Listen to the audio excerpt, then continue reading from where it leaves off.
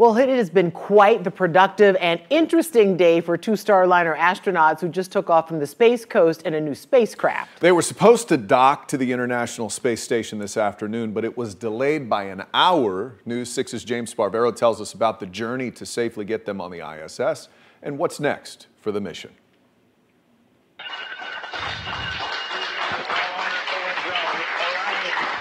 As excited as perhaps any time in their decorated careers in space. Lots of cheering here in the room, big hugs.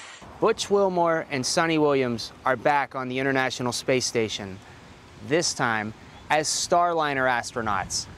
It's the first time both of NASA's commercial crew partners have crews on the space station, SpaceX, and now, finally, Boeing. Yeah, we are thrilled as well.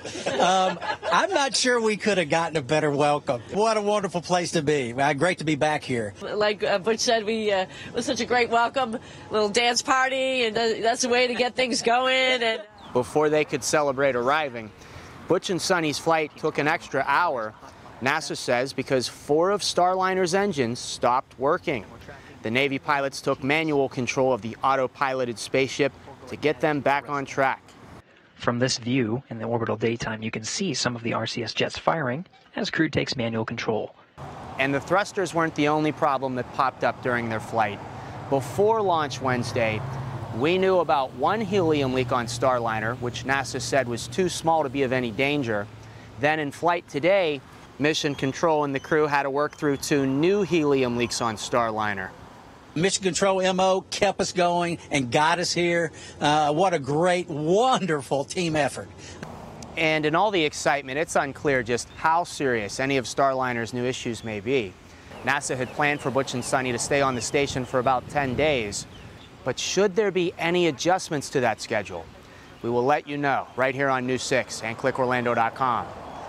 At Cape Canaveral Space Force Station, I'm James Sparvero, getting results News 6. Okay, here's where you come in. Open up that camera app, scan the QR code you see on your screen, click the link, and that'll take you to our poll. If you could go to space, would you do it? You can select yes, launch me, no, you're more down to earth type. That's how I am.